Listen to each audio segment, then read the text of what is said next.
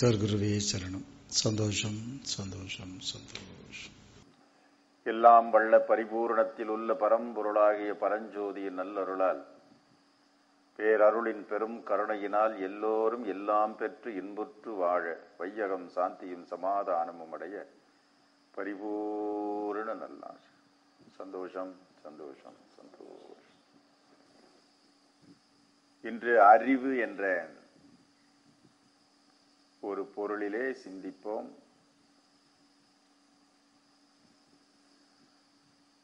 எது அறிவு? எதை அறிந்தால் எல்லாவற்றையும் அறிய முடியுமோ? அப்படிப்பட்ட அந்த ஒன்றே அறிவு. அறிவு என்பது நிலைத்தது. அறிவு என்பது மாறுபடாதது. அறிவு என்பது அனுபவிப்பதும் அனுபவத்தில் இருப்பதும். ஆக இருப்பது எது? இருப்பது ஒன்று. ஒன்றை தவிர்த்து வேறு ஏதும் இல்லை. ஆகவேதான் அந்த ஒன்றாய் இருப்பது எதுவோ அதுவே அறிவு. ஆகவேதான் அந்த ஒன்று பேரறிவாய் இருக்கிறது.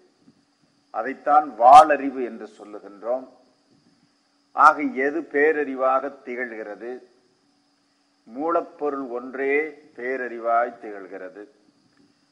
அதனால்தான் இந்த உயிர்களை எல்லாம் நாம் பிரிக்கின்ற பொழுது எல்லாம் வல்ல அந்த ஆற்றலை பேர் உயிர் என்று சொல்லுகிறோம். மற்றவைகள் எல்லாம் அதிலிருந்து வந்ததால் சிற்றுயிர் என்று சொல்லுகிறோம்.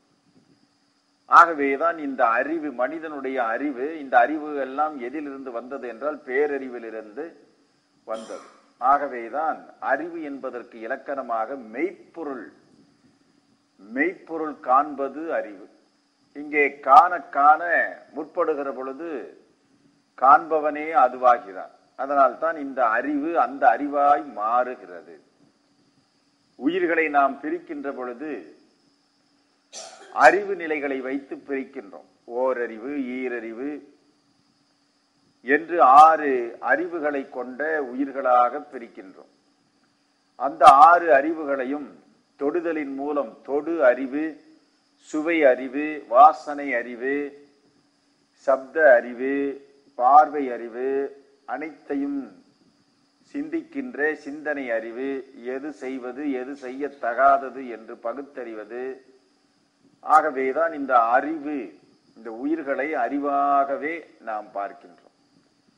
இந்த உயிர்களுக்கெல்லாம் உயிராய் விளங்குகின்ற அந்த இறை பொருள் மூலப்பொருள் அதுவே மெய்ப்பொருள். அதனால்தான் மெய்ப்பொருள் காண்பது அறிவு. ஆக இப்பொழுது காண்கின்ற அறிவு அனைத்தும் தொட்டு பார்த்து அறிந்து கொள்ளுகிறோம் சுவைத்து பார்த்து அறிந்து கொள்ளுகிறோம் நுகர்ந்து பார்த்து அறிந்து கொள்ளுகிறோம் கேட்டு பார்த்து அறிந்து கொள்ளுகிறோம் பார்த்து அறிந்து அறிந்து கொள்கிறோம். ஆகவேதான் எவைகளை அறிந்து கொள்ளுகிறோம் என்றால் இந்த பிரபஞ்ச பொருட்களையே நாம் அறிந்து கொள்ளுகிறோம். அதனால்தான் பிரபஞ்ச பொருள் பூமி என்ற கெட்டி பொருளாக நிலப்பொருளை தெரிந்து கொள்ளுகிறோம். நீர்ப்பொருளை தெரிந்து கொள்ளுகிறோம். அக்னி பொருளை தெரிந்து கொள்ளுகிறோம். காற்று பொருளை தெரிந்து கொள்ளுகிறோம்.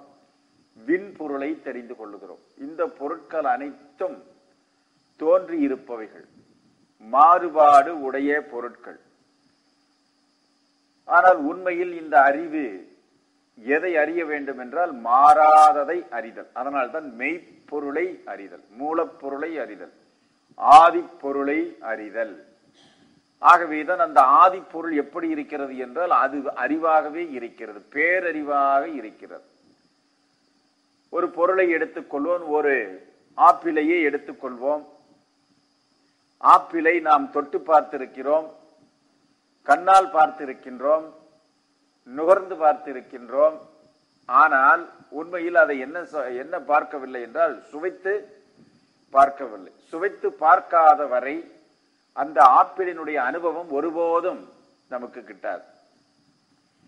பார்த்தாலோ கேட்டாலோ தொட்டாலோ நுகர்ந்தாலோ அதனுடைய உண்மை தன்மையை உணர முடியாது. அதை போல கடவுள் என்ற பொருளை மூலப்பொருளை ஆதிப்பொருளை கேட்டாலோ படித்தாலோ வாய்விட்டு சொன்னாலோ அந்த பொருளினுடைய அனுபவம் கிட்டாது. அந்த பொருளினுடைய தன்மையை உள்ளது உள்ளபடி உள்ளதை உள்ளவாறு உணர முடியாது.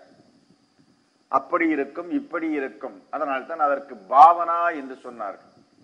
அந்த பாவனையாக பார்த்து அறிவது. இதை போல இருக்கும் இப்படி இருக்கும் என்று பாவனையாக இருப்பது. அந்த பாவனையே என்னாகி விடுகிறது? அதுவாகவே மாறி விடுகிறது பாவ பாவனை பாவமாகிறது. முடிவிலே உயிரிலே கலந்து அந்த பாவம் என்னவாகிறது? சுபாவம் ஆகிறது. ஒரு மனிதரை பற்றி கேட்கின்ற பொழுது அவருடைய சுபாவமே இப்படித்தான் என்று சொல்லுகின்றோம். ஆகவேதான் அந்த பாவனையோடு அந்த இறைபொருளை மூலப்பொருளை அறிந்து கொள்ளுகின்ற யோகம் பாவன யோகம். ஆகவேதான் இந்த அறிவு ஏன் இந்த அறிவை தேடுகிறோம் என்றால் அந்த அறிவு நமக்குள்ளேயே அது இருக்கிறது. எதையும் நாம் தேடுவது என்பது நமக்கு உள்ளிருப்பதைத்தான் நாம் தேடுகிறோம். இல்லாததை நாம் ஒருபோதும் தேடுவதில்லை. அன்பை தேடுகிறோம். ஏனென்றால் அது நம்மிடமிருந்தே வருகிறது. அறிவை தேடுகிறோம். அந்த அறிவு நமக்குள்ளிருந்தே வருகிறது. ஆற்றலை தேடுகிறோம். அந்த ஆற்றல் நமக்குள்ளேயே இருக்கிறது. ஆகவேதான் அனைத்தும் உனக்குள்ளே. ஆதி முத்திரையை செய்கின்ற பொழுது இது உடல்நிலை மனநிலை இது ஜீவ அறிவு நிலை நான்காவது ஆன்ம நிலை இதுதான் பரமான்ம நிலை. விழிப்பு நிலை கனவு நிலை உறக்க நிலை உறக்கத்தை கடந்த துரிய நிலை. இந்த துரியத்தையும் கடந்த அப்பால் இருக்கின்ற துரிய அதீத நிலை. அதனால்தான் இது விழிப்பு மனம் கனவு மனம் உறக்க மனம் உறக்கமற்ற உணர்வு மனம் இது பிரபஞ்ச மனம். ஆன்ம மனம் என்றும் பிரபஞ்ச மனம் என்றும் சொல்லுகின்றோம். ஆகவே இந்த பிரபஞ்சம் எங்கு இருக்கிறது? இந்த பிரபஞ்சம் அனைத்தும் உள்ளே அடங்கி ஒடுங்கி இருக்கிறது. ஆகவேதான் இந்த ஆதி முத்திரை என்று இதற்கு பெயர். இந்த ஆதி முத்திரையிலே எல்லாம் உனக்குள்ளேயே இருக்கிறது. ஏனென்றால் ஒரு வெற்றி என்ற பொருளுக்கு என்ன சொல்லுவான்? கைகளை மேல் நோக்கி காட்டும். என்னால் முடியும் என்று சொல்கிறோம். வெற்றியா தோல்வியா என்று நாம் கேட்கின்ற பொழுது என்ன சொல்வார்கள்? கைகளை உயர்த்தி காட்டினால் கட்டை விரலை உயர்த்தி காட்டினாலே ஆம், கட்டை விரலை கவிழ்த்தினால் முடிந்தது என்ற பொருள். ம். ஆகவேதான் இந்த கட்டை விரல் தான் அனைத்தும். அதனால்தான் நாடி ஜோதிடத்தில் கூட எந்த விரலில் இருந்து நாம் பார்ப்போம்? இந்த கட்டை விரலினுடைய ரேகைகள். ஏனென்றால் இது ஒருபோதும் மாறுவதில்லை. ஒருபோதும் ஒருவருக்கு இருப்பதை போல இன்னொருவருக்கு இருப்பதில்லை. ஆகவேதான் இந்த கட்டை விரல். ஆக இந்த கட்டை விரலில் தான் அனைத்தும் இருக்கிறது. ஆகவே எல்லாம் அடங்கிய இந்த கட்டை விரல் எப்படி இருக்கிறது? ஒடுங்கி இருக்கிறது உள்ளே இருக்கிறது. ஆகவே உள்ளே இருப்பதை வெளிப்படுத்த வேண்டும் என்றால் உடல் நிலை மனநிலை அறிவு நிலை ஆன்ம நிலை இவை அனைத்தும் என்னாக வேண்டும்? துறக்க வேண்டும். ஆகவேதான் இந்த ஆதி முத்திரை அனைத்தும் இந்த ஆதியே எங்கிருக்கிறது? உனக்குள் தான் இருக்கிறது. ஆகவேதான் ஆதி பகவன் முதற்றே உலகு. அகர முதல எழுத்து எல்லாம். ஆ என்பது எழுத்துக்கெல்லாம் முன் முதல். உலகத்திலே எந்த மொழியை நாம் எடுத்தாலும் ஆ என்ற முதலிலே ஆ என்ற எழுத்தைத்தான் எல்லோரும் படிக்கின்றோம். எல்லா உலக மொழிகள் எல்லாம் ஆய ஆவிலிருந்தே துவங்குகிறது. ஆக இந்த ஆ என்ற முதலிலே சரம். அச்சரம். சரம் என்றாலே அசைவது. ஆச்சரம் என்றால் அசைவற்றது. உறுதியானது. அதனால்தான் சரத்திலிருந்து சலம். அஹ், சலம். சலம் என்றாலே அசைவது நீர். நீரினுடைய தன்மை என்ன? எப்பொழுதும் சொல்லுகின்றோம் அல்லவா? ஒரு நீர் ஓடிக்கொண்டிருக்கிறது என்றால் சலசல என்று ஓடியது என்று சொல்லுகிறோம். ஒரு பாம்பு ஊர்ந்து சென்றால் சரசரவென்று ஊர்ந்து சென்றது என்று சொல்லுகிறோம். அதனால்தான் சரம் ஆச்சரம் சலம் அசலம் அசலம். அசலம் என்றால் உறுதியானது. அசலம் என்றால் நிலைத்தது. ஆகவே அசலம் என்றால் மழை என்று பொருள். சலம் என்றாலே நீர் அசலம் என்றால் மலை. அதனால்தான் என்ன மலை? அருண அசல மலை. அருணாசல மலை. அது என்னவாகிவிட்டது? திருவண்ணா மலை. திரு அருண அசல மலை. அசலம் என்றாலே மலைதான். இந்த இந்த தீபத்தை நடு சென்டர்ல வையுங்க. சொல்லுவோமா இல்லையா? சாதாரணமா நடு சென்டர் அப்படிம்பா. நடு என்றால் என்ன? சென்டர் என்றால் என்ன? ஒன்றுதான். அந்த வாட்டர் ஜலத்தை எடுத்துடுங்க அப்படிங்கிறோம் வாட்டர்னாலும் அதுதான் ஜலம்னாலும் அதுதான். அதனாலதான் எல்லாமே என்ன செய்வோம்? இந்த ரெண்டு ரெண்டு வார்த்தைகளா சேர்த்தி சொல்லுவோம். ஆகவேதான் இங்கே அருணன் அப்படி என்றாலே அருணன் என்றால் அருணமலை. அருணன் என்றாலே ஒளி என்று பொருள். பஞ்சபூதங்களிலே தீயை அடிப்படையாக வைத்து சொல்லப்படுகின்ற மலை அருண மலை. அது அசல என்று சேர்க்கப்பட்டு விட்டது. அதனால அருண அசலம். அருண அசலம் மலை. ஆகவேதான் திருவண்ணா மலை. ஆகவேதான் அந்த திருவண்ணாமலையில் அருணன் ஒளி பெற்ற அது மலை. ஒளி பெற்ற அசைவற்ற மலை. அதனால்தான் கார்த்திகை தீபத்தன்று பெரிய நெருப்பை நாம் மேலே தீபத்தை ஏற்றி வைக்கின்றோம். உலகத்திலே முதன் முதலில் வெளிப்பட்டது அந்த ஜோதி. அந்த ஜோதியிலிருந்துதான் நாம் இல்லந்தோறும் அந்த சிறிய சிறிய விளக்குகளை நாம் ஏற்றி வைப்போம். ஆகவேதான் ஒன்றிலிருந்தே அனைத்தும் தோன்றி இருக்கிறது இந்த தீப ஒளி திருநாளை போல எல்லா இடங்களிலும் அந்த ஒளி வழிபாட்டையே மேற்கொண்டார்கள். அதனால்தான் பாரத நாடு முதன் முதலிலே ஒளி வழிபாடு. சூரிய வணக்கம். சூரிய வணக்கம். அதிகாலை எழுந்தவுடனேயே முதன் முதலிலே நமக்கு இந்த இருளை நீக்குகின்ற ஒரு ஒளிப்பொருள் என்ன பொருள்? சூரிய பொருள் தான் ஆகவேதான் முதன் முதலிலே நாம் வழிபடுகின்ற அந்த வழிபாட்டுக்கு உரிய பொருள் ஒளிப்பொருள். அதனால்தான் அந்த ஒளிப்பொருள் மற்ற நேரங்களிலே அந்த இருளை நீக்குகின்ற பொருள் தீபம். ஆகவேதான் இந்த தீபத்தை வைத்து நற்காரியமாக இருந்தாலும் சரி சுப காரியம் அசுப காரியம் எதுவாக இருந்தாலும் முதலிலே ஏற்றி வைக்கப்படுவது விளக்கு தான் ஏனென்றால் நாம் வழிபடுவது இந்த விளக்கில் தான் என்ன இருக்கிறது? அனைத்தும் இருக்கிறது இருக்கிறது. ஆகவேதான் மனிதன் முதன் முதலிலே ஏன் இதை பார்க்க வேண்டும்? ஏனென்றால் மனதிலே நினைப்பதற்கு ஒரு பொருள் நமக்கு வேண்டும். அதற்கு என்ன பொருள் வேண்டும்? ஒன்று பார்த்திருக்க வேண்டும். அல்லது கேட்டிருக்க வேண்டும். அல்லது நுகர்ந்திருக்க வேண்டும். அல்லது சுவைத்திருக்க வேண்டும். அல்லது தொட்டு பார்த்திருக்க வேண்டும். இந்த ஐந்து புலன்களால் உணரப்பட்ட ஒன்றைத்தான் மனதால் நம்மால் என்ன செய்ய முடியும்? நினைத்து பார்க்க முடியும். நினைத்து பார்க்க முடியும். பார்க்காத ஒருவரை நினைத்துக் கொள்ளுங்கள் என்றால் நினைக்க முடியுமா?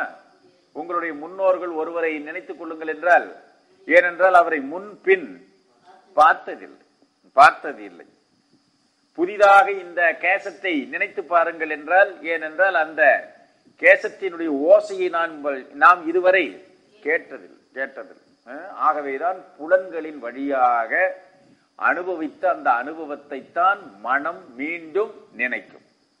பாராத கேளாத நுகராத சுவைக்காத தொடாத ஒன்றை அதனால் என்ன செய்ய முடியாது? நினைக்க முடியாது நினைக்க முடியாது. அதனால்தான் நினைப்பதற்கு ஒரு பொருள் வேண்டும்.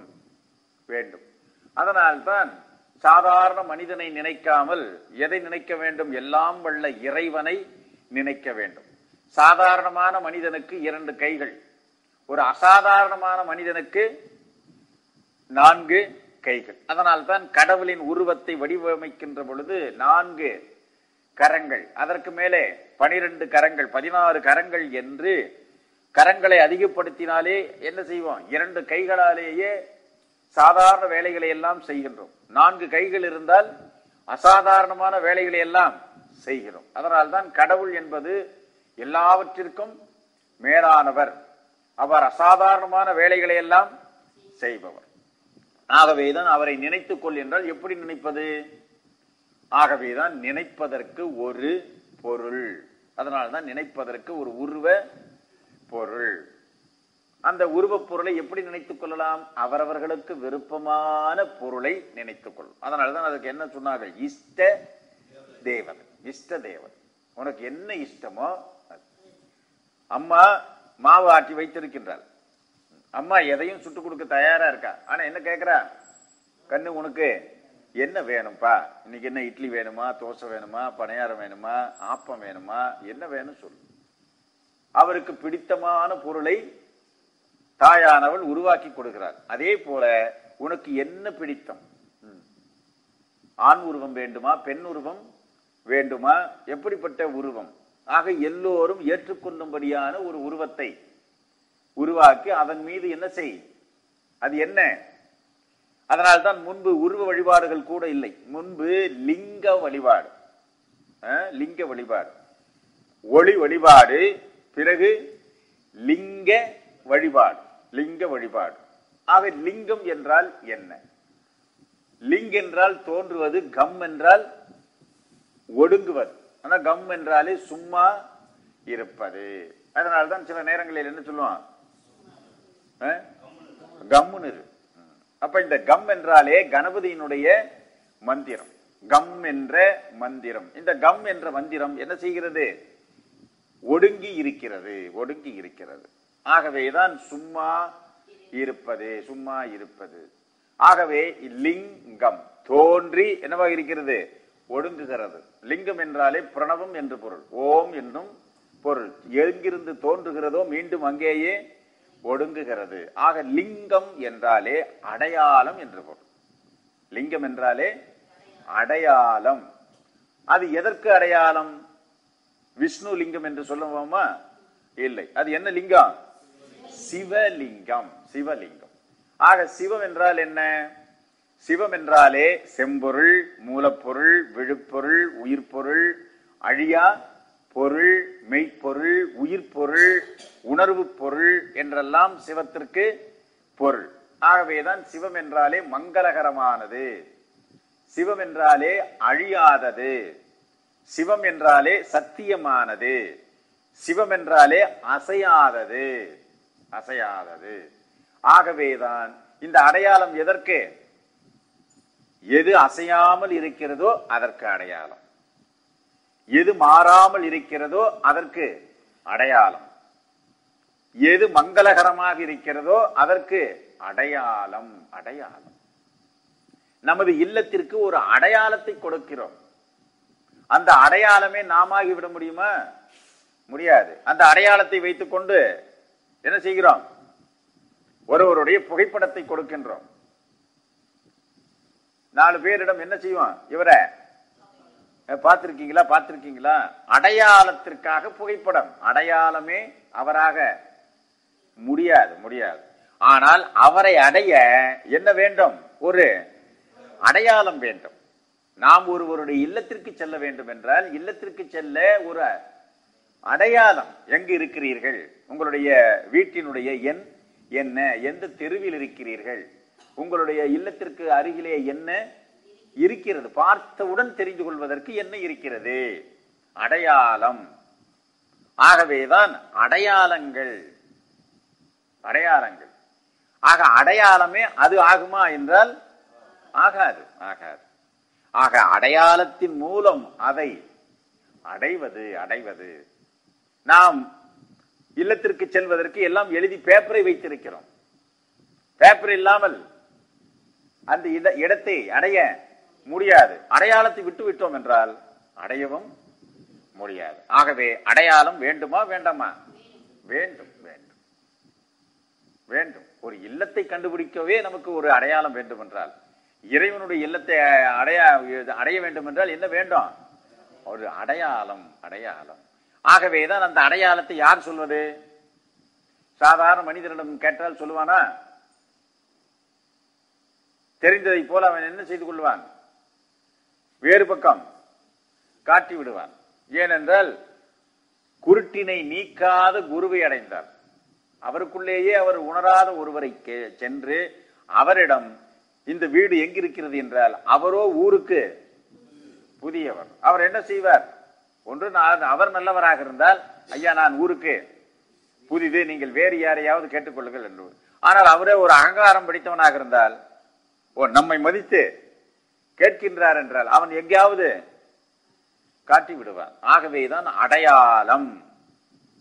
அதனால்தான் சனாதன தர்மத்திலே இறைவனை அடைய ஒரு அடையாளம். வேதங்களை படிப்பதாலோ உபநிடதங்களை நெட்டுரு செய்துவதாலோ ஒரு பலனும் ஒரு பலனும் இருக்காது. காலை என்னம்மா காலையில் என்னம்மா? நீங்க இறைப்பிரசாதம் என்ன? ஊத்தப்பம். இப்ப எங்க போர்டு இல்லையா? அந்த போர்டில் என்ன போட்டிருக்கோம்? ஊத்தப்பம். அப்புறம் சட்னி சாம்பார். அப்படியே ஊத்தப்பம் சட்னி சாம்பார். ஓம் ஊப்ப ஊத்தப்பமே நமக. ஓம் சட்னியே நமக. ஓம் சாம்பாரே நமக. அப்படின்னு ஆயிரத்தி எட்டு தடவை ஊத்தப்பத்து பேரை சொல்லிட்டோம். இன்னும் கொஞ்சம் சேர்த்தி அதை ஊத்தப்ப யார் ஊத்துனாரு? குமார். ஓம் குமாரே நமக. அப்படின்னு குமார நம்ம நமக போட்டுக்கிட்டே இருக்கிறோம்னு வைங்க. பரிமாறுவங்க. அவங்க பேரையும் நமக போற்றி போற்றி ஆயிரத்தி எட்டு போற்றி சொல்லியாச்சு. பசி. போயிருமா? ஏன் குமாரு? போகாது. போகாது. குமார போட்டுனாலும் போட்டுனது போதுங்க. சாப்பிடுங்க. சாப்பிடாமையே குமார் வாழ்க குமார் வாழ்க அவர் குடும்பம் வாழ்க அப்படின்ட்டே இருக்கிறோம். சொல்ல சொல்ல இன்னும் பசியாச்சா இருக்குமே தவிர அப்புறம் அந்த தோசை அதுக்கு வாய் இருந்தா அது என்ன சொல்லும்? யோ சாப்பிடியா? பேசாம இன்னும் என்ன காய வச்சு இல்லையா? அது என்ன வேணும்? சாப்பிடணும். அதே மாதிரி இறைவனை அடையாளம் காட்டுவது வேதங்கள். இறைவனை அடையாளம் காட்டுகின்ற வழியை காட்டுவது உபநிடதங்களும் புராணங்களும் இதிகாசங்களும். அதை அப்படியே உட்காந்து நெட்டூர் போட்டு கொண்டிருப்பதால் ஆமா இன்னைக்கு என்ன? ஊத்தப்பமா? ஊத்தப்பம் ஊத்தப்பம் ஊத்தப்பம் மறந்துட கூடாது. ஊத்தப்பம் ஊத்தப்பம் ஊத்தப்பம் ஊத்தப்பம். ஆயிரத்தி எட்டு தடவை ஊத்தப்பம் சொல்லி. ஆ? என்ன ஆகும்? இப்ப எல்லாரும் என்ன செய்யறோம் மந்திரங்களை சொல்லி அதை மறக்காம இருக்கிறோம். ஆனா எதை விட்டுட்டோம்? எதற்காக இதெல்லாம் சொல்லப்பட்டது? அடைவதற்காக அடைவதற்காக. ம். இப்ப சீனிவாசன் உங்க வீட்டு நண்பர் என்னப்பா? முப்பத்தி மூணு பாரு ஒண்ணு முப்பத்தி மூணு பார் ஒண்ணு முப்பத்தி மூணு பார் ஒண்ணு முப்பத்தி மூணு பார் ஒண்ணு. அப்படியே படிச்சுக்கிட்டே முப்பத்தி மூணு பார் ஒண்ணு. நினைச்சுக்கிட்டே இருக்கிறோம். ஆனா வீட்டுக்கு போகவே இல்லை. அதனால எந்த பிரயோஜனமும் இல்லையே சொல்லுங்க. அப்ப என்ன வேணும்? அடையாளம் அவசியம் வேண்டும். அடையாளம் எதற்கு வேணும்? போகணும். போகணும். உங்கள் உங்க அட்ரஸ் சொல்லுங்க. சரி சரி பரவாயில்ல பரவாயில்லைங்க. ஏன்? அப்படின்னா என்ன அர்த்தம்? வீட்டுக்கு போற மாதிரி.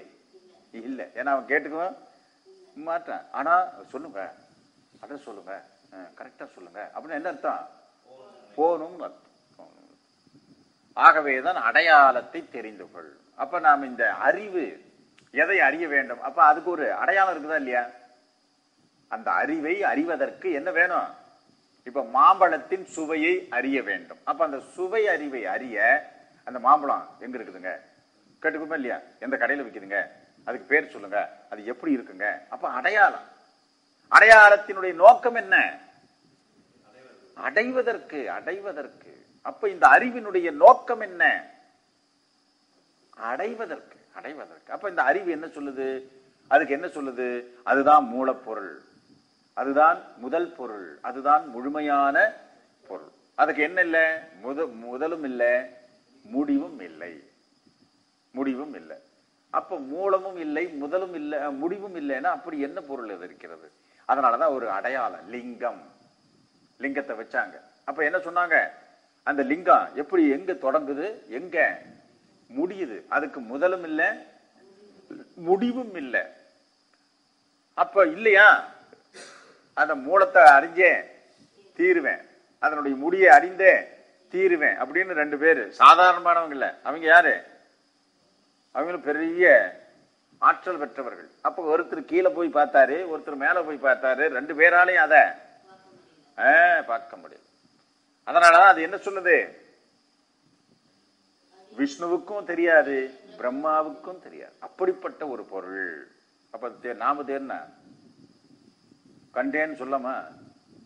கண்டேன்னு சொன்ன பிரம்மாவுக்கு வழிபாடே இல்லாம போச்சு. அப்ப அது எப்படித்தான் இருக்குது? அதனாலதான் அந்த லிங்கம். லிங்கம்னா என்ன? அடி முடி இல்லாதது. அதுக்கு பேர் தான் லிங்கம். அப்ப இறைவனுக்கு ஒரு அடையாளத்தை வச்சாங்க.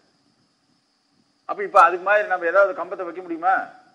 அதனாலதான் அவ்வளவு பெரிய அந்த இறைவனுக்கு ஒரு சின்னமா என்ன வச்சாங்க? ஒரு அடையாளம். அடையாளம். இதுவா இதுதான் அதா அப்படின்னு அது இல்லை. ஆனா அதை அடைவதற்குரிய அடையாளம். அடையாளம். அது எங்க போகுது?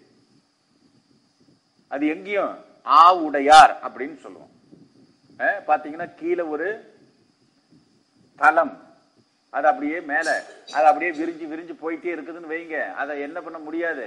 இதான் பாவனை. அதற்கு கீழேயும் பார்க்க முடியாது மேலையும் பார்க்க முடியாதுன்னா எப்படி இருந்துதான்? அது இந்த ஊனக்கண்ணால் அதை பார்க்கவே முடியாது பார்க்கவே முடியாது. அது எப்படிப்பட்டதாக இருக்கிறது? அதற்கு என்ன? அதற்கு அதனாலதான் அதுக்கு என்ன இல்லை? அதுக்கு அளவு இல்லை மற்றதுக்கெல்லாம் ஒரு அளவு இருக்குது. சரி அதுக்கு என்ன? எது வரைக்கும் இருக்கும்? அதுக்கு ஒரு எல்லை இல்லை. சரி அதுக்கு என்ன ஏதாவது இதுக்கு இது மாதிரி இருக்கும் அது மாதிரி இருக்கும்னு சொல்லு. அதுக்கு நிகர். இல்ல நிகரற்றது. அதனாலதான் அளவற்றது எல்லையற்றது நிகரற்றது. அப்படிப்பட்ட பொருள் தான் அறிவு. அந்த அறிவை அறிதல் வேண்டும். இப்ப நாம எதை அறிஞ்சுக்கிட்டு இருக்கிறோம்? கண்ணுக்கு தெரிஞ்சதை தெரிஞ்சுக்கிட்டு இருக்கிறோம். காதுக்கு கேட்கறது எல்லாம் தெரிஞ்சுக்கிட்டு இருக்கோம். உலகத்தில் இருக்கிற பொருட்களினுடைய வாசனைகளை தெரிஞ்சுக்கிட்டோம். உலகத்தில் இருக்கிற அத்தனை பொருளையும் சோச்சு பார்த்துட்டோம். சொல்லுங்க. எல்லாத்தையும் தொட்டு பார்த்துட்டோம். ஆனா அறிய வேண்டியதை அறியல. அப்ப இதெல்லாம் என்ன? அப்ப இதெல்லாம் தேவையில்லையா? இதெல்லாம் உலகியல் அடையாளம். உலகியல் பொருள். ஆக இது எப்படி இருக்கும்? இவைகளை எல்லாம் கடந்த பொருள். திடப்பொருளை கடந்தது நீர்ப்பொருளை கடந்தது வாசனை பொருளை கடந்தது சப்த பொருளை கடந்தது பார்க்கும் பொருளை எல்லாம் கடந்தது. அப்ப அந்த கடந்த பொருளை எப்படி தெரிகிறது? இதை தொட்டு பார்க்கணும்னா தோல்ல தெரிஞ்சுக்கலாம். இதை சுவைத்து பார்க்கணும்னா நாவல தெரிஞ்சுக்கிட்டோம். வாசனையை தெரிஞ்சுக்கணும்னா மூக்கால தெரிஞ்சுக்கிட்டோம். ஆனா இதுவோ கடந்த பொருள்னு சொல்றோமே. அப்ப கடந்த உட்பொருளை எப்படி பார்க்கறது? நாமும் அதுக்கு என்ன செய்யணும்? கடந்து உள்ள பாவனம் அப்ப எங்க போய் எதை வச்சு பார்க்கறது அதுக்கு ஒரு கருவி அதான் மனம். அந்த மனம் இயங்குகிற இடம்தான் புருவ மையம். அப்ப பார்க்கறதுக்கு கண்ணு ஒரு முகத்துல ஒரு இடம் இருக்குது. கேட்கறதுக்கு காது ஒரு இடம் இருக்குது. மூக்குக்கு ஒரு இடம் வாய்க்குன்னு ஒரு இடம் தோலுக்குன்னு ஒரு இடம். இது சிந்திப்பதற்கு ஒரு இடம். அதனாலதான் கடந்த உட்பொருளை அறிவதற்கு ஒரு இடம்தான் பூர்வ மையம். அதனாலதான் அந்த இடத்துல என்னத்தை பார்க்கிறோம்? உட்பொருளை நாம் பார்க்கிறோம். உட்பொருள் தான் என்ன? அதுதான் அறிவு. அப்ப கடவுள் என்னவாக இருக்கிறாரு? அறிவே கடவுள். அறிவே கடவுள். அன்பே கடவுள் அறிவே தெய்வம் அப்படின்னு எல்லாம் சொல்லுவோம். இல்லையா? அப்ப அந்த தெய்வம் எப்படி இருக்காரு? அறிவுபூர்வமாக இருக்கிறார்.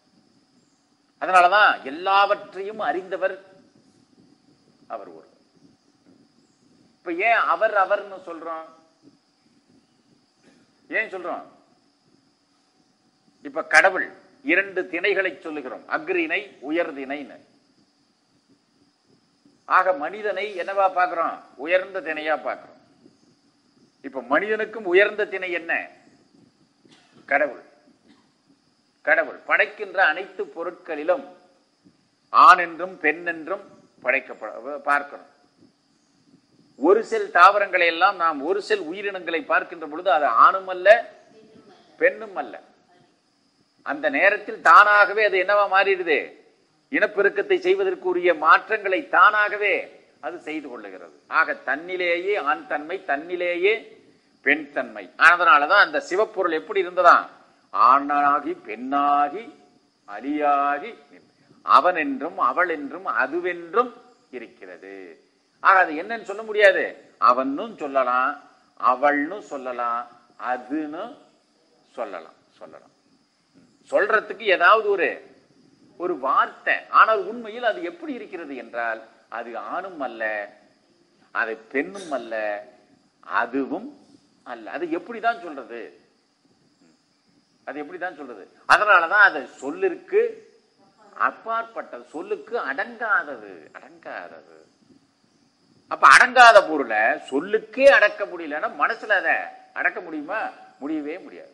அப்ப என்னதான் செய்யலாம்? உணரலாமே தவிர அத உண- உணர்த்த அதுக்கு என்ன இல்லை? வார்த்தைகள் இல்லை. வார்த்தைகளுக்கெல்லாம் அப்பாற்பட்டது. அதனாலதான் அது என்ன பண்ணலாம்? உணர முடியும். ஒரு நல்ல அருமையான ஊத்தப்பம் நல்ல சாம்பார்.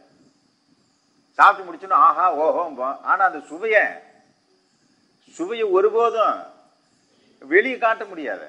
ஏனென்றால் அது சூக்குமமானது. பார்க்கிற பொருளுக்கு அதனுடைய சூக்குமத்தையே சொல்ல முடியலையே. காண இயலாத நுண்ணிய பொருளினுடைய அடையாளத்தை எப்படி காட்டுறது?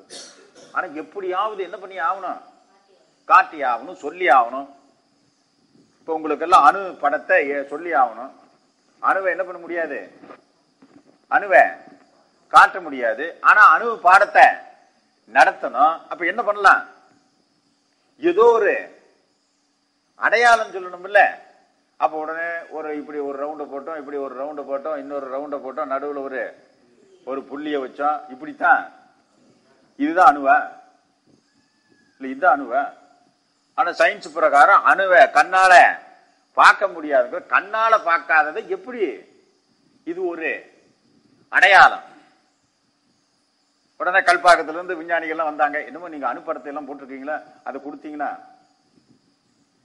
யுரோனியம் தோரியம் இதெல்லாம் வச்சுக்கிட்டு இப்ப பண்ணிட்டு இருக்கிறோம். இப்ப நீங்க கொடுத்தீங்கன்னா இதை கொண்டு போய் ரியாக்டர்ல போட்டு மின்சக்தியை உருவாக்கிறோம் இப்ப நான் வரைஞ்ச படத்தை கொண்டு கொடுத்துடலாமா? இதுதாங்க அணுன்னு சொல்லலாமா ஏன்?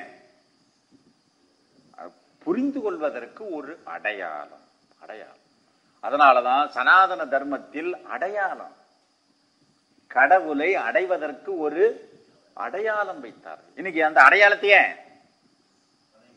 அடையாளத்தையே பிடிச்சிக்கிட்டோம். சாகிற வரைக்கும் அடையாளத்தை அஹ், ஊத்தப்ப ஊத்தப்பன்னு கையிலேயே பிடிச்சி எழுதி வச்சு எங்க போறது இல்ல டைனிங்க. போறது இல்ல அடைஞ்சிட முடியுமா? ஆகவேதான் அடையாளங்களை வைத்து அடைய வேண்டிய இலக்கை நாம் அடைய வேண்டும். இப்ப அரசாங்கம் ஒரு திட்டத்தை போடுது. திட்டத்தை வச்சுக்கிட்டே இருந்தா முடியுமா? திட்டத்தை செயல்படுத்தும் செயல்படுத்தும். நீர்வீழ்ச்சிக்கு போகும் வழி அப்படின்னு போர்டு போட்டுக்கிறோம் அங்கே நிக்கிற வேண்டியது. ஏன்? அடையாளத்திலே நின்றுட்டா நீர்வீழ்ச்சிக்கு போக முடியுமா? குளித்த அனுபவம் கிடைக்குமா? கிடைக்காது. அதனாலதான் கடவுளை காட்டுகின்ற அடையாளங்கள். அப்ப வேணுமா வேண்டாமா? அடையாளம் அவசியம் வேணும். வேணும். அடையாளம் இல்லாம அடையவே முடியாது. ஊர்ல இருந்து ஒரு மாமா வராரு. பையன் கிட்ட சொல்றான் கூட்டிட்டு வந்துருன்னு. உடனே ஓடி போயிட்டான். அப்புறம் திரும்பி வந்தான். ஏப்பா மாமாவை எப்படி அடையாளம் நீ பாட்டு கூட்டிட்டு வானே நானும் போயிட்டேன். அப்போ அடையாளம் வேணும்ப்பா. அட நம்ம மாதிரி அவரும் அவரும் மனுஷன்தான். உடனே ஓடி போயிட்டான். அப்புறம் மறுபடியும் திரும்பி வந்தான். அப்புறம் மனுஷனை எத்தனையோ மனுஷனை பார்ப்போம். ஒரு அந்த பஸ்ல இருந்து ட்ரெயின்ல இருந்து எத்தனையோ வருவாங்க. எப்படி பாக்குறது அப்ப அவருக்கு ஒரு அடையாளம் அடையாளம். ஆகவேதான் இறைவனை அடைவதற்கு அடையாளத்தை வழிகளை காட்டுகிறது. அதனால் வேதங்களை படிக்க வேண்டாம் புராணங்களை படிக்க வேண்டாம். முதல்ல படிச்சாதான் நமக்கு திருமூர்த்தி மலை என்ற ஒரு மலை இருக்கிறது. அங்கே அற்புதமான மூன்று நதிகளும் சேர்ந்த ஒரு நீர்வீழ்ச்சி இருக்கிறதுன்னு படித்தாதான் யாராவது ஒருத்தர் சொன்னால் உடனே அது என்ன பண்ணும்? அட நாமளும் அந்த இடத்துக்கு போகணும். அப்படி இல்லைன்னா நீர்வீழ்ச்சியை பார்த்தவர்கள் தானே சொல்ல முடியும். பார்க்காதவர்கள் சொல்ல முடியாது. இன்னும் யாருன்னு சொல்லலாம். நான் இன்னும் சொன்ன இப்போ ஒரு டிராவல் ஏஜென்ட் இருக்கிறான். அவன் என்ன எல்லா ஊருக்குமா போயிருக்கிறான்? போயிருக்க மாட்டான். ஆனால் போயிட்டு வந்தவங்களுடைய அனுபவத்தை எல்லாம் வச்சு சார் நீங்கள் சிங்கப்பூர் மலேசியெல்லாம் போங்க சார். அருமையான ஊர் சார். அப்படிமா ஏயா நீ ஏதாவது போயிருக்கேன் ஆ இன்னும் இது வரைக்கும் விமான நிலையத்துக்கு கூட போனதில்லை சார். ஆனா அவன் என்ன செய்யறான்? நம்மளை வா- அதான். அதனாலதான் சமய பிரச்சாரகர்கள் இறைவனை பார்த்திருக்க மாட்டாங்க. இறைவனை அடைஞ்சிருக்க மாட்டாங்க. ஆனா அந்த சமய பிரச்சாரகர்களால நாம போயிடுச்சு அதனால ஏ அதனால நீ பார்த்துக்கியா? அப்புறம் எதுக்கே சொல்ற? அப்ப ஏஜென்ட் கிட்ட ஏ நீ சிங்கப்பூர் போயிருக்கியா இல்ல. அப்புறம் எதுக்கே எங்களை போக சொல்ற? சார் நான் தான் போகல. நீங்க உங்ககிட்ட பணம் இருக்குது எல்லாம் இருக்குது நீங்களும் சிங்கப்பூருக்கு போகணும்னு சொல்லிக்கிட்டே இருந்தீங்கன்னு நான் கேள்விப்பட்டேன் சார். அதனால தான் நான் வந்து உங்களை நான் ஏஜென்ட் சார். இல்லையா? ஏஜென்ட். அதனால கோவில் பூசாரிகள்லாம் ஏஜென்ட். ஏஜென்ட் அட பேங்க் ஏஜென்ட் ஆனா அவர் பேங்க்ல லோன் வாங்கியிருப்பாருன்னா அவரு வாங்கியிருக்க மாட்டாரு. அவர் மத்தவனுக்கு வாங்கி தருவாருப்பா வாங்கி தருவாரு அதனாலதான் ஏஜென்ட் அப்ப ஏஜென்ட்டுகள் வேணுமா வேண்டாமா? வேணும். ஆனா ஏஜென்ட்டையே கும்பிட்டா இப்ப நம்ம எல்லாம் யார கும்பிட்டு இருக்கிறோம் ஏஜென்ட்டையே பிடிச்சிட்டு இருக்கிறோம். ம். ஏன்னா அப்பதான் ரெண்டு திருநீர் ஏச்சா கொடுப்பாரு. ம். ஆமா எல்லாம் பணம் கொடுப்பாரு. யோசிச்சு பாருங்க. ஆகவே அவசியம் என்ன வேணும்? அடையாளம் அடையாளம். அப்ப குரு யாரு? ஒரு அடையாளத்தை காட்டுறாரு. இப்ப குருவையே புடிச்சிட்டு குருவே குருவே குருவேனா? சொல்லுங்க.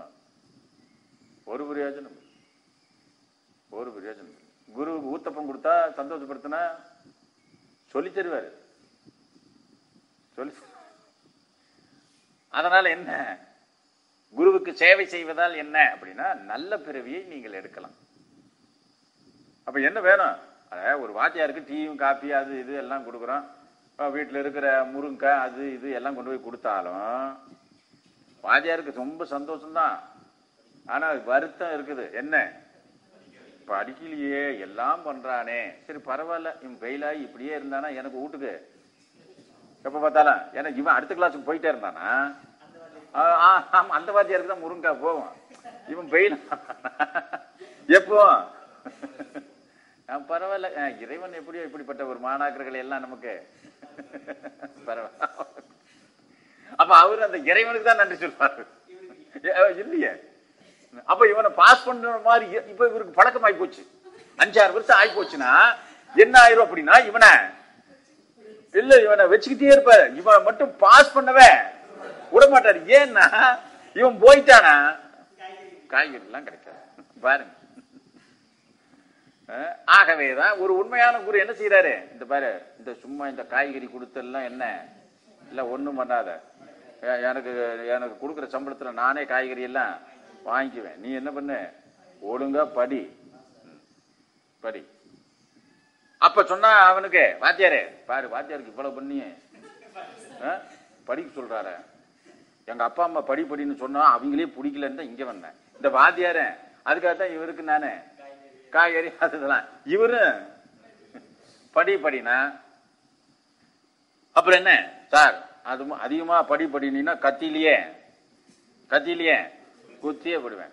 ஏன்னா ஏற்கனவே எங்களுடைய மாணவ சமுதாயம் என்ன பண்ணிருக்குது பள்ளிக்கூடத்திலே குத்தி இருக்கிறோம் அதனால மறுபடியும் அதுக்கு தக்கவாறு அப்பா அம்மாவன் சார் நாங்களே படின்னு சொல்றது இல்ல நீங்க எதுக்கு சார் படின்னு சொல்றீங்க? இல்லையா? ஆகவேதான் அடையாளம் அவசியம் நமக்கு வேண்டும். அந்த அடையாளத்தை வைத்து. படி எதுக்குப்பா? அடே பள்ளிமலைக்கு போறோம். படியிலேயே உட்காந்துக்கிட்டான் ஏயா? இதே போதும். ஐயோ படி எதுக்கு? அங்க போய் பாக்குறதுக்கு. இல்லைங்க ஒருத்தர் சொன்னாருங்க படியில் விழுந்தாவே போதும்னு. போதுமா? சொல்லுங்க. அப்ப படி எதுக்கு? அதனாலதான் படித்தரம் அப்படின்னா.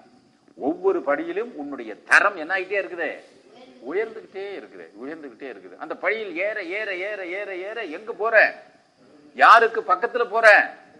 இறைவனுக்கு பக்கத்திலேயே போயிரு. இல்லைன்னா கீழேயே இருக்கும் ஆகவேதான் படிகள். அப்ப படிகள் என்றால் என்ன? இறைவனை அடைவதற்கு உரிய படி. படி.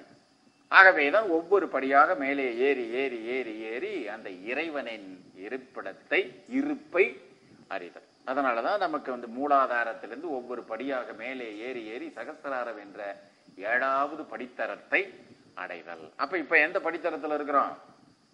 முதல்ல பிறந்து பிறந்து பிறந்து தொட்டாதான் தெரியும் சுவைச்சாதான் தெரியும் நுகர்ந்து பார்த்தா தெரியும் கேட்டு பார்த்தா தெரியும் பார்த்தா தெரியும். இப்ப எந்த படித்தரத்தில் இருக்கிறான்? எது நல்லது எது கெட்டது எது அனுபவிப்பது எது அனுபவிக்க கூடாதது அப்படிங்கிற படித்தரத்துக்கு வந்துட்டோம். அப்ப ஆறாவது படித்தரத்தில் இருக்கிறோம். அப்ப எங்க வந்துட்டோம்? பகுத்தறிகின்ற அறிவு நிலைக்கு வந்துட்டோம். அடுத்தது என்ன? அந்த அறிவோடு சேருதல் சேருது. அந்த படி எங்க இருக்குது? அதான் உச்சி. அதான் ஆறாம் அறிவு. அடுத்தது என்ன? ஏழாம் அறிவு. அப்ப அந்த நிலைக்கு போனோம் அப்படின்னா யாருகிட்ட போயிடுறோம்? கடவுள்கிட்ட போயிடும் அதனாலதான் அதற்கு முதல்ல சாலோகம் அப்படின்னாங்க.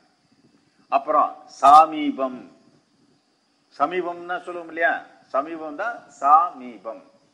சா என்றாலே இறைவன் என்று பொருள். சாலோகம் என்றால் வேற எங்கேயோ இருந்தோம். இப்ப பழனி இப்ப திருமூர்த்தி மலைக்கு எங்கேயோ இருந்தோம். இப்ப கார்ல என்ன சொல்லுவான்? இப்ப எங்க இருக்கிறோம்? திருமூர்த்தி மலைக்கு போயிட்டோம். அதான் சா லோகம் இறைவனின் லோகம். அடுத்தது என்ன?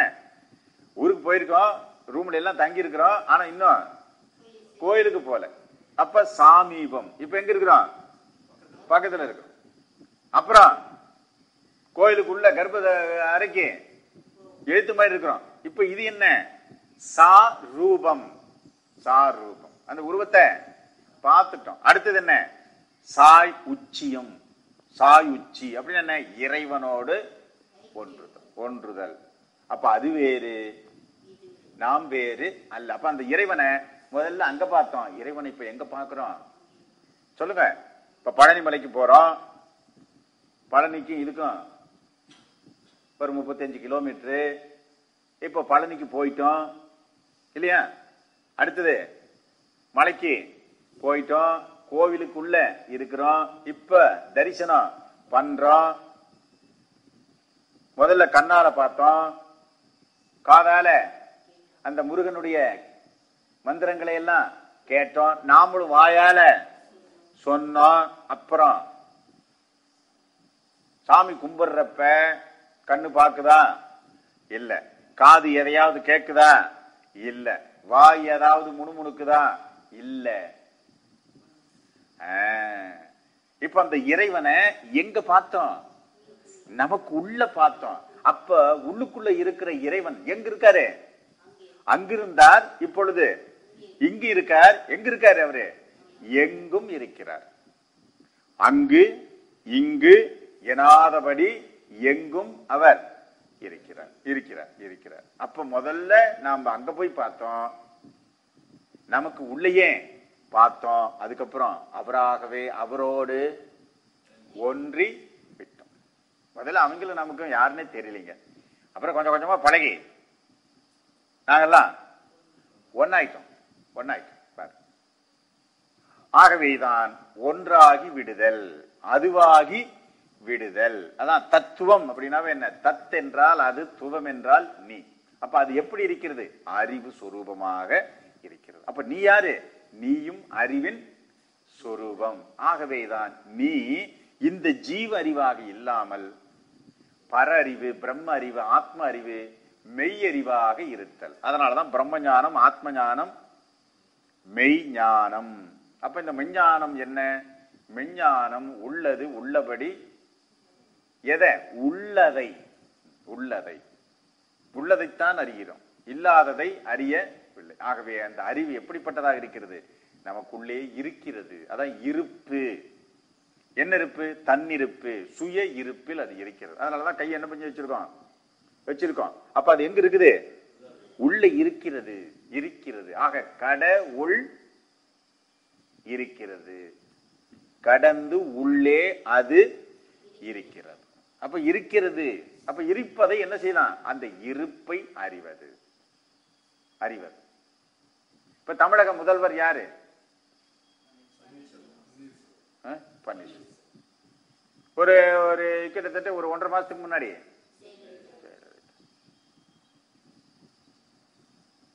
பெண் வரலாம் ஆண் வரலாம் வேறு யார் வேண்டுமானாலும் வரலாம். ஆனால் முதல்வர் பதவி முதல்வர் பதவி ஒன்று முதல்வர் பதவி மாறுமா? அந்த பதவிக்கு யார் வேணாலும் வரலாம். அதே மாதிரி தான் அந்த இறை என்பது பதவி ஒரு நிலை. அந்த நிலைக்கு அடைய நாம் என்ன சொல்றோம்? ஆணா பார்க்கிறோம் பெண்ணா பார்க்கிறோம் அந்த இறை நிலையை ஆணாக பார்க்கிறோம்.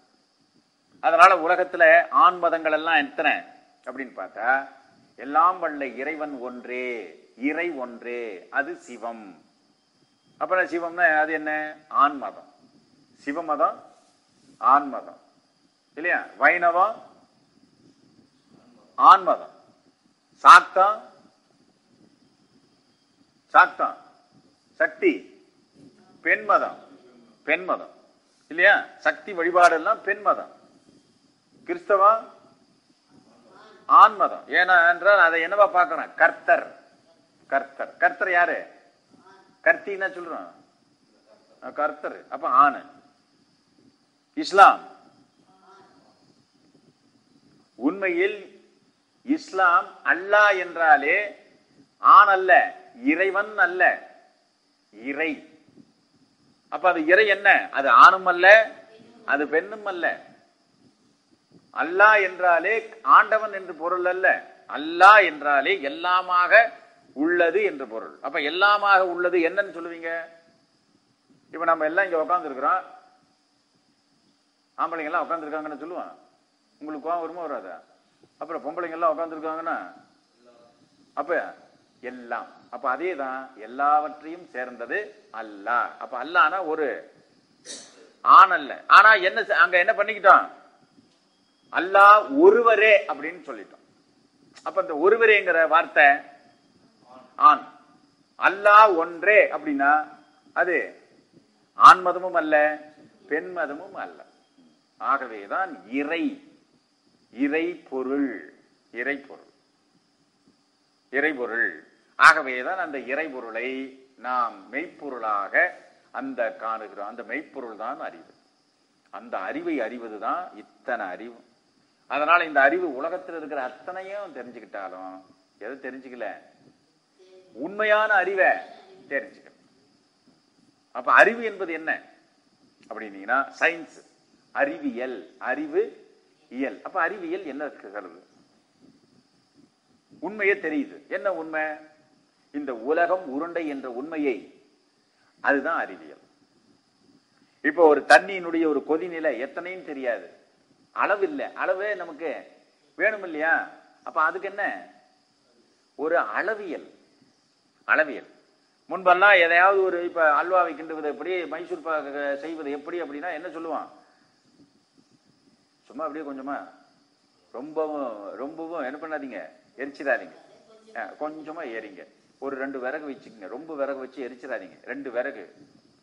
அது எத்தனை எத்தாச்சூடு விறகுன்னு சொல்ல முடியாது. இத்தனூடு விறகா?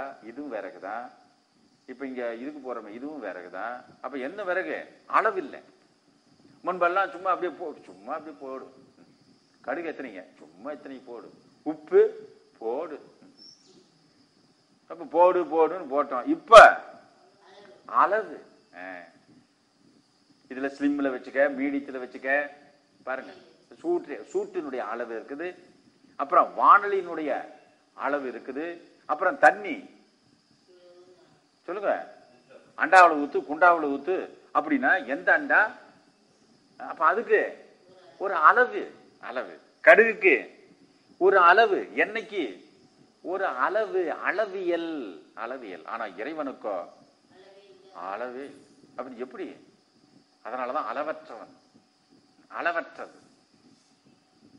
அதனால இஸ்லாம் அளவற்றவன் அப்படிங்குது. அப்பனா ஆண். நிகரற்றவன் ஆண். எல்லையற்றவன் ஆண்.